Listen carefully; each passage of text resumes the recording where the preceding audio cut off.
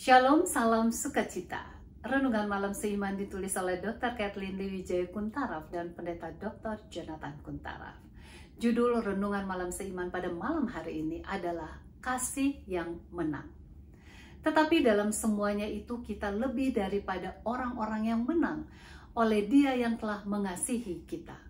Sebab aku yakin bahwa baik maut maupun hidup, baik malaikat-malaikat maupun pemerintah-pemerintah, baik yang ada sekarang maupun yang akan datang atau kuasa-kuasa, baik yang di atas maupun yang di bawah, ataupun sesuatu makhluk lain, tidak akan dapat memisahkan kita dari kasih Allah yang ada dalam Kristus Yesus Tuhan kita. Roma 8 ayat 37 sampai dengan 39. Melalui Yesus Allah telah memperoleh kemenangan di bumi ini kekuasaan iblis atas umat manusia dihancurkan oleh salib Yesus Kristus.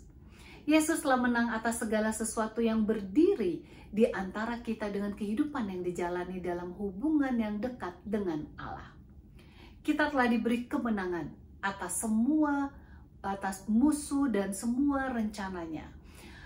Akan tetapi, meskipun kita telah memperoleh kemenangan di dalam Yesus, iblis masih tetap bekerja keras untuk membawa Anda dan saya kembali ke jalan yang dulu. Benar, Yesus telah mengalahkan musuh, namun kita tetap harus menjalani kemenangan itu setiap hari dan membantu orang lain di sekitar kita untuk melakukan hal yang sama. Kita saling membutuhkan untuk masing-masing mengalami kebebasan yang tersedia bagi kita di dalam Yesus Kristus Kitab suci menasihati kita untuk senantiasa terlibat dalam pengakuan dosa kita, dalam hidup komunitas kita, dalam penyembahan serta pertempuran rohani bersama-sama. Dalam Amsal 27 ayat 17 mengatakan, besi menajamkan besi dan orang menajamkan orang lain. Kita harus terlibat satu dengan yang lain dan berjuang untuk hidup dengan penuh kemenangan di dalam Kristus bersama-sama. Yesus sudah menang dan dengan kuasa Yesus kita pun akan menang dalam pergumulan iman sampai Yesus datang.